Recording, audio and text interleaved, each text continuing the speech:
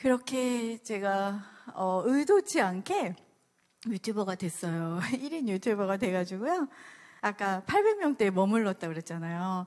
머물렀는데 정말 좀처럼 그 다음부터는 이 변화가 없더라고요. 그래서 그러던 중에 또 코로나라는 게 터진 거예요. 그래가지고 어, 모든 것이 멈춰 있던 그 시기였어요. 그럴 때한 어, 바리톤 선생님과 작업을 같이 해보고 싶다라는 생각이 들었어요. 그래서 한 번은 이제 신랑한테 어, 그 선생님과 함께 작업을 좀 해보면 어떨까요? 그랬더니 어, 뭐, 안 하는, 안 해보는 것보다 낫지. 그렇게 말을, 말을 해줘가지고, 이제 제가 기도를 또 먼저 하고, 이렇게, 아, 그분께 연락을 들어봐야 되겠다 하고 있었어요. 그랬는데, 그분이 어느 날 페이스북에 저와 함께 유튜브 이렇게 작업을 할 피아니스트를 찾습니다 하고 올리신 거예요.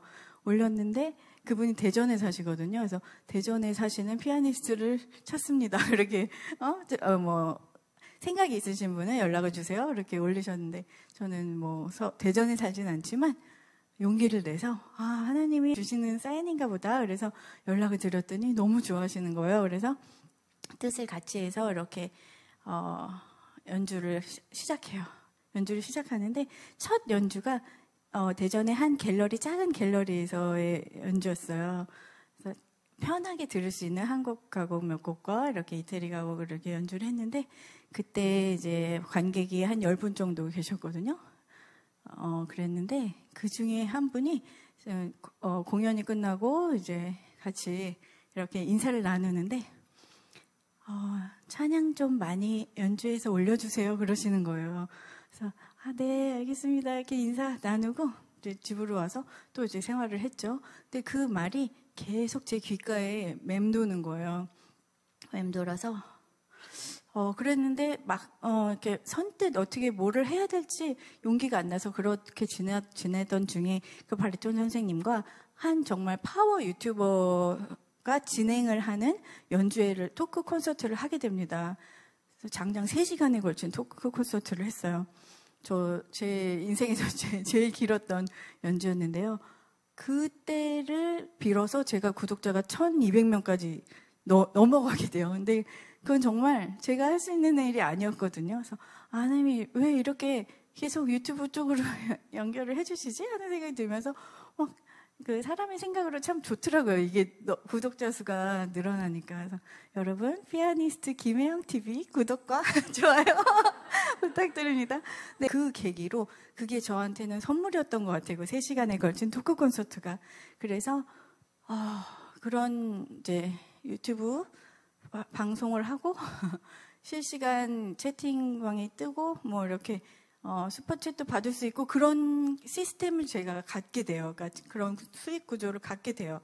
그래서 그렇게 되고 나서 그 아까 찬양 좀 많이 올려주세요 했던 분의 말씀이 떠올라서 아 그러면 요즘에 1인 방송 많이 하는데 내가 용기를 내서 나도 방송을 해봐야 되겠다. 근데 클래식군 어, 여러분도 아시겠지만 막 6개월 막 이렇게 준비해서 독주를 해야 되고 그렇게는 안 하고 저는 찬양 연주할 때가 가장 행복해요. 그래서 아 찬양하는 게 가장 행복하니까 찬양을 연주하면 어떨까 하는 생각이 드는 거예요. 또 그분이 찬양 연주 많이 올려주세요 했던 그런 말씀도 있고 그래서 그게 마중물이 되어서 제가 용기를 내서 올해 3월 3일부터 찬양이 흐르는 사랑방이라는 타이틀로 어, 이제 피아니스트 김혜영 해가지고 방송을 시작해요.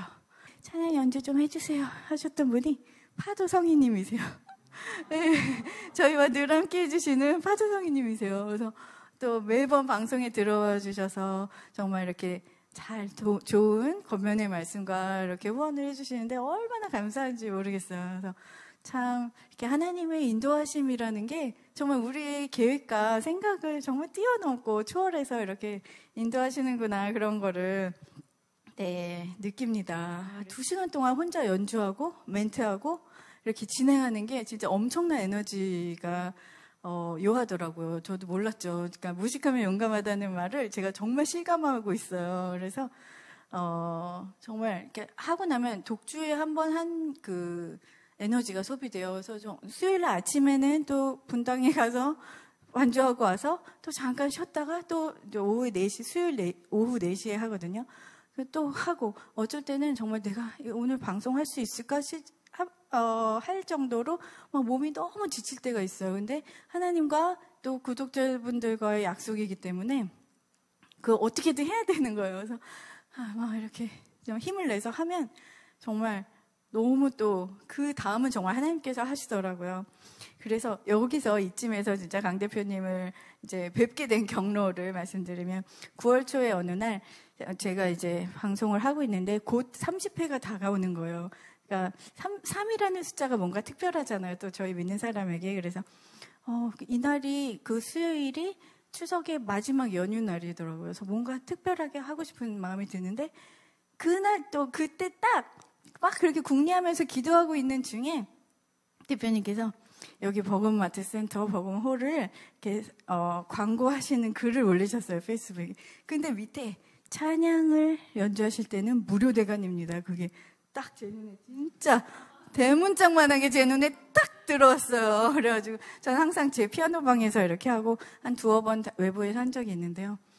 아, 저곳에서 정말 하나님께 찬양 올려드리면 얼마나 좋을까 하는 생각이 들어서 정말 용기를 내서 선생님께 어, 뵌 적도 없는데 이렇게 어, 연락을 드렸더니 너무 흔쾌히 어, 이렇게 허락을 해주셔서 30회 찬양 콘서트를 이곳에서 성악가 네 분의 선생님과 함께 정말 은혜롭게 이렇게 올려드릴 수 있었습니다. 찬양 콘서트로요.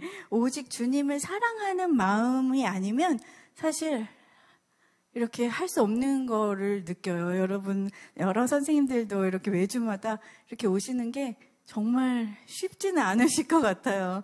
어느 날은 쉬고 싶을 때 있고 막 그렇잖아요. 근데 선생님들 참 너무 대단하시다 하는 생각이 들고 정말 오직 주님만 사랑하고 주님만 높여드리는 그 마음으로 이렇게 하고 있, 는데또 평생 또 그렇게 해야 될 것을 또 다짐하면서 아, 사랑이요 목소리 높여와 내 구주 예수를 더욱 사랑 연주하고 그다음에 이제 마지막에 어 제가 그 방송을 하면서 느끼는 은혜, 그러니까 받은 은혜를 짧게 나누고 마칠까 해요. 그래서 우선 연주할게요.